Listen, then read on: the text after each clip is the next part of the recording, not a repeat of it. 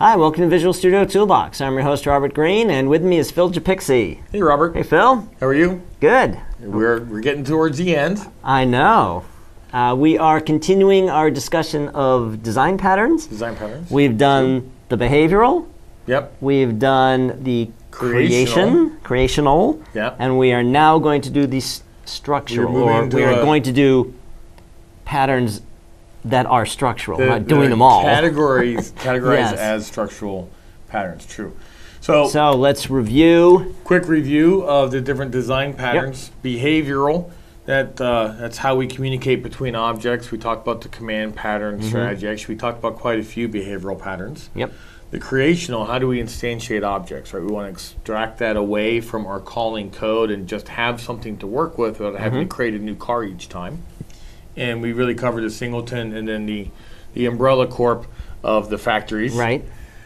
And then structural is what we're moving into. And this is how we compose and relate different objects together. And we're going to talk about three patterns, two in this episode, Mm-hmm. and then and that is the adapter and decorator Facade. Adapter facade. and facade is this adapter one. and facade. Right. You're right. I have it in alphabetical order on my screen, and it really is not done in alphabetical order. And then the final one, our next episode, we'll talk about the decorator. Okay, cool. So let's talk about the adapter and facade. And I really clumped them together because whereas academically they're different, in practicality they pretty much do the same thing, but it's just how they operate and what they're operating on that distinguishes them. So let's just talk about the simple adapter. We really want to make something look like something else so we can use it. Uh, the, the example I use all the time for those of us with gray hair, we remember two prong outlets, Mm-hmm. right? And you, dad would come home with a three prong plug. And you're sitting there looking at the outlet, you're holding the plug, so we did what every future engineer would do. We broke off that third prong, right? Plug it right in. Not what you're supposed to do. What you're supposed to do is get one of those adapters. You get thing that you plug onto it. You plug it's into called it, an adapter.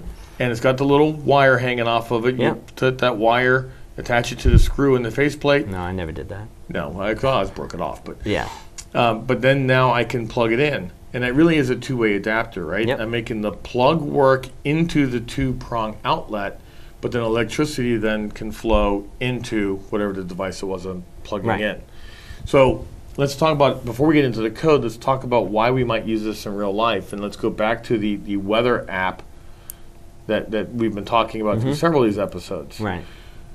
You've got a button on a form, you push the button, and it's going to, for a particular city, bring back the temperature, the forecast, um, you know, barometric pressure, whatever. Right. Weather stuff. Yep. Well, we talked about the command pattern, uh, going to get that stuff. We talked about the factory pattern of how do we instantiate WeatherBug or the Weather Channel or MSN Weather or whichever client we're going to use Right. or service we're going to use to get this. But now we're going to deal with the problem of unless they all follow the exact same interface, calling them each will be a little different. Mm-hmm. So if I want to get the temperature from WeatherBug, maybe the call is called get temp. Right. If I want to get it from the weather channel, maybe it's called current temperature. And it's a property and not a method, Right. right? So what we have to do is we have to take that three-prong plug and make it fit into a two-prong outlet. We did it with an adapter. Yep. And adapters actually can work both ways as the electricity flows.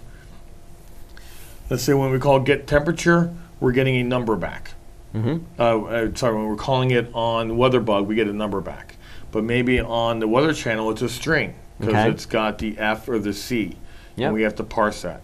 Well, we don't want to have to have that inherent knowledge in our application to know exactly how to talk to this return type. Right. Because then what we have done is we have hard coded an implementation detail into the caller Yep. right? So what I want to know is I want to be able to say I'm always getting back. Maybe it's an object, a custom object that has the temperature as an integer or a decimal, if you care about the fractions, mm-hmm. and an enumeration that says Fahrenheit or centigrade. Right. And you always want to get that same type back without being an adapter. Right. Okay. Yep. Okay. So I always like, and we've talked about this on many shows. I'm going to say it again in case you're picking up the series right here.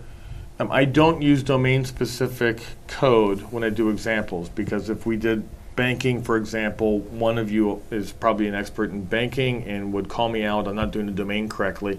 So I actually picked Rocky and Bullwinkle as my domain because, hey, I'm from that era, and I don't think you can call me wrong for talking about uh, a talking moose and a flying squirrel. Talk and- about moose and squirrel. It's and- never and- wrong. And Natasha and, and Boris.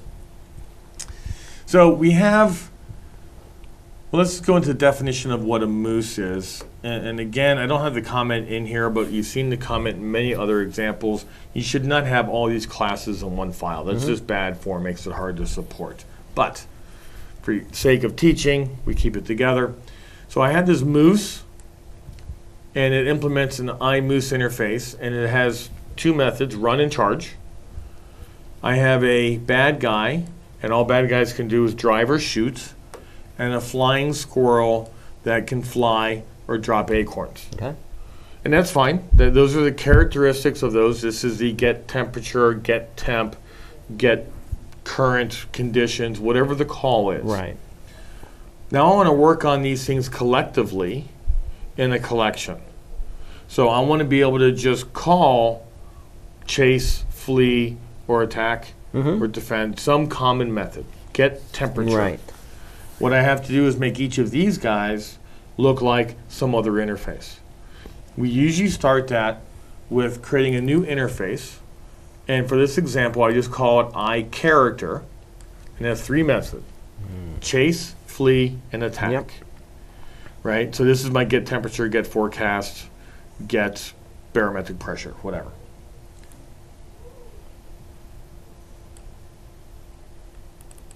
Now we have to create an adapter. So let's look at the Moose adapter first. So the Moose adapter implements iCharacter. Mm-hmm. Takes in an iMoose in a constructor, and then it maps my common interface methods to the specific methods of that moose. And this is the key point of this pattern. It's a mapping. It is. You always want your characters to chase, flee, attack. Yes. But the way the moose, the squirrel, the bad guy are written, they don't necessarily call it chase, flee, attack. It's run, charge, it's drop acorns, it's whatever else it is.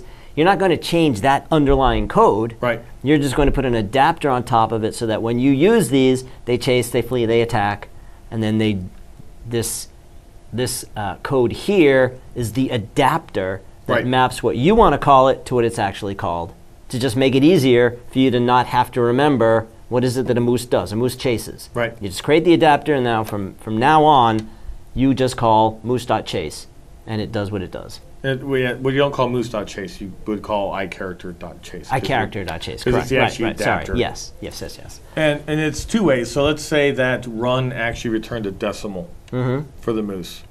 Well, we could certainly truncate that into an integer and Yep. make it look like what we want to get back out of it. Right. Okay.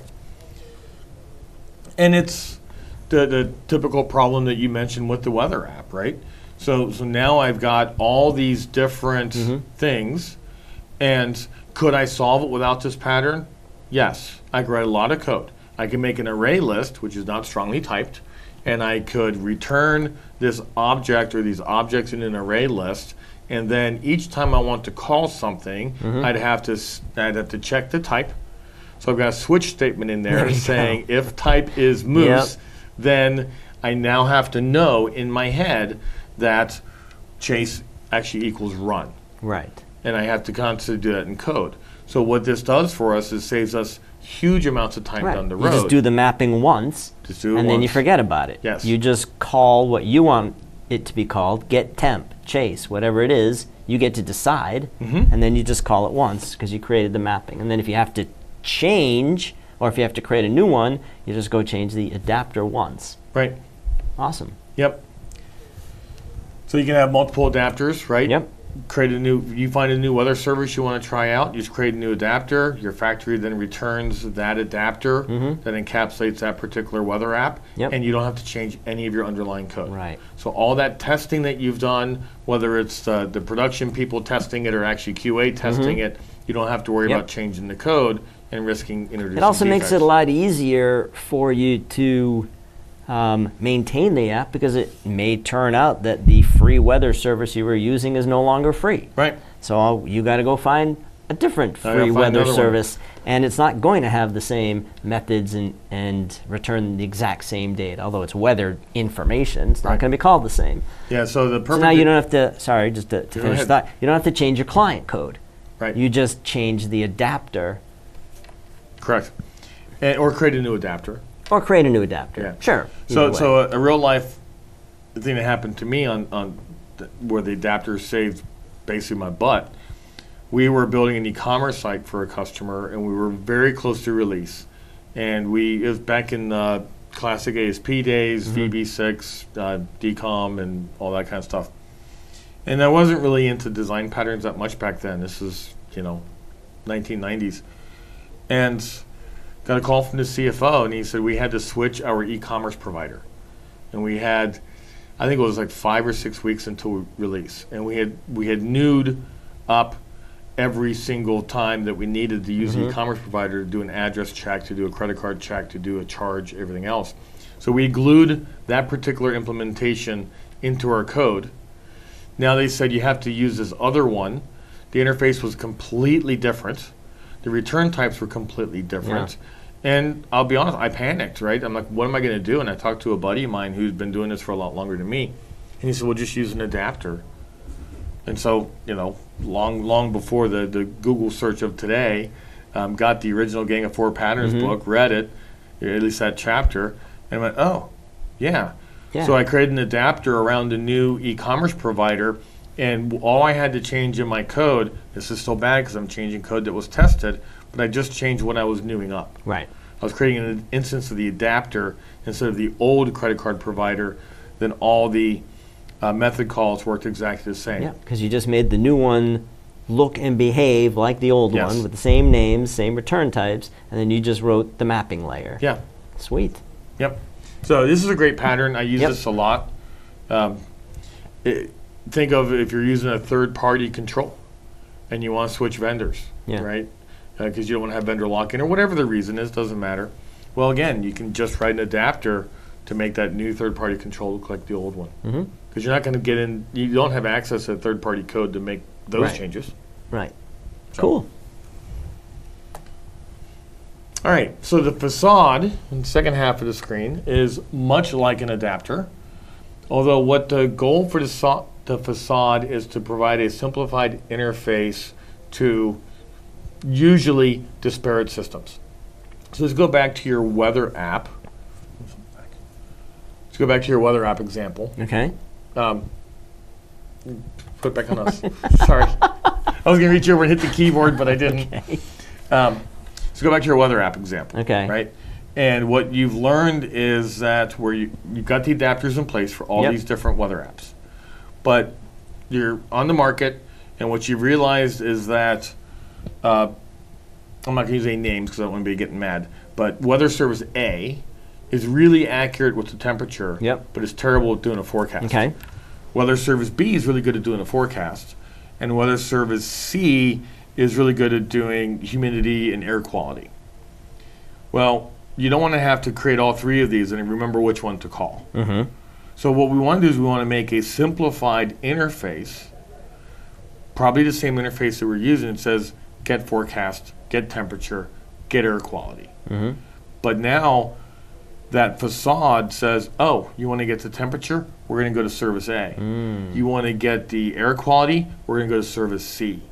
So the whereas they're very very similar, the adapters and the facades. An adapter typically just makes one thing look like something else. Okay. A facade simplifies disparate systems into something that you need. Okay. So a we, we've talked a lot about the e-commerce example. Let's use that, right? So bigger companies usually have multiple different systems. One to control inventory, one for purchasing. Maybe there's an interface with some delivery carrier, UPS or FedEx, or uh, I'm gonna make sure I name them all so I don't get somebody mad. Um, and as a developer, I want to create a system that is very simple for the users of my system to do what they need to do. Mm-hmm. Let's look at the template method, right? Where we're c- calling into shipping or inventory. Do we have the inventory? Okay, pick it. Let's go into another application to do the packaging, another application to schedule the shipping. Right. Well, as a developer, do I want to have to remember how do I call into this Java API to do inventory? Right. And I got to figure out how to do a, a web client or a REST client and do all this stuff going against Java. Remember what the URI is and everything else. Now I'm going to create a, a simplified interface that says check inventory, pick inventory, and maybe pass in a product number. So this facade then says, oh, you're calling this? Fine. I know that I need to take it to this system. I'm writing that heavy lifting code once, Right. Working hard up front so I can be lazy down the road. Right? And so it's the same for all these different systems. Yep. And that's the facade. So that's why I decided to put them together. Yeah, they're similar. They're very, very similar. Mhm. And really, it's just an academic difference as to whether you're just making one thing look like something else Right. or taking pieces of something to simplify. Yep.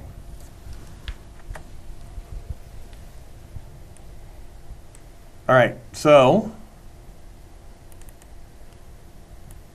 let's say, actually, let's go this way because we've all seen code like this. Let's say we have some application called I overdone, and we've got methods that say do something or do something else or do something again Mhm. with those old school parameters X, Y, and Z. Uh, here on line 16, they obviously ran out of alphabet letters, started over at the beginning. Okay.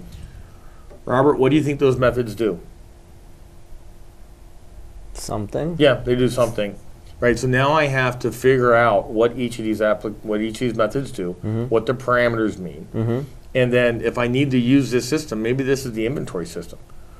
Maybe do something else is actually checking inventory. Okay.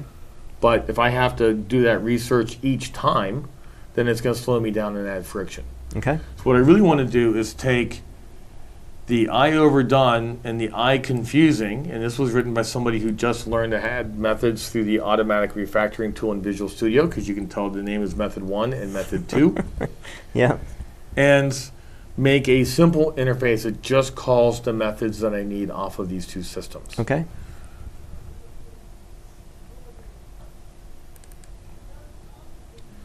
So we do our research, we come up with a better API, and again, let me put some line breaks in there. And we learned that there's two functions we need with some overloads, Mhm. right? The first is add three numbers, maybe this is check inventory. Mm-hmm. Then we have three overloads with add and then multiply. Okay. Maybe this is pick inventory.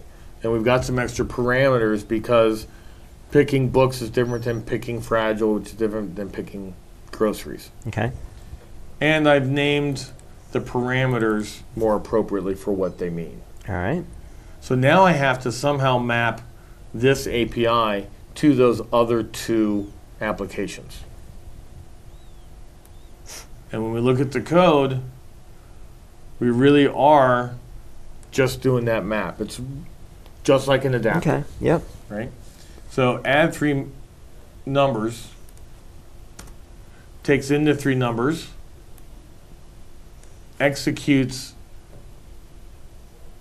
the execute method on the confusing API, Right. which Mhm. we have learned through reflection or looking at source code or some other documentation is just adding those numbers together. And then the same as here. Add and then multiply, and we've learned what the overloads do. And we But you're calling on a different interface, so you're now combining those multiple interfaces into a single one and renaming it. and renaming it and dressing it up. I can certainly change the return types as well, right? So if I had, let's say the temperature again comes Yep. back as a string, Right. but we need it to be an integer Yep. with some sort of enum, Right. right? We could handle that in tuples in C sharp 7, but we could just also use a simple object Yeah. to do that. When we look at the tests for this, we can say that it's really easy to look at this code and know what that interface is doing. Mm-hmm. I could write the same test, and it probably would have been a good example to use the old confusing APIs to do the exact same thing. Right. And we would see things like system under test dot execute with some numbers. Yep. And if we had three and three in there, Um, and it was six. Is it adding? We think it is, but we don't know, right? Yeah. Why don't you just rename it so you know what it's doing? Exactly. That's all. Yeah, that's what we're doing and here. that's and that's all it's doing. Yep. Uh, these are great patterns. I use them all the time, um, especially if I've got a third-party control or a set of third-party controls, or even just going against. We've got a situation with a customer right now where we've got some EF6 code, we've got some EF core code, we've got some straight ADO, and what I've done to make it simpler for my team is I've written some facades in there Yeah. to say get this data, get this data, get this data. Yep. It really simplifies it. It, it again, it's it's more work up front, but then afterwards, um, it's you're designing the API yourself. I would say it's not more work up front. It is work up front, It's but but you would well, it's more work up front than just diving in. It's work up front. That's true. It, it, you do which have to make, saves you a bunch of Yeah. time and gives you the ability to write uh, code that's more likely what you wanted it to be. Mhm. So more correct code. yeah. And so so when I was saying I, I would correct you on that it was more work up front, it is because you have to create the facade. Right. But that research you have to do to understand the facade, Mm-hmm. you would have to do that every single time you Right. called into one of these systems. Yes. So you're saving a ton of time by doing this. Yeah, definitely. And we always have to imagine that the next person looking at our code is an axe wielding psychopath. And if we leave a really bad API Yeah. for them to use, then they're going to come after us.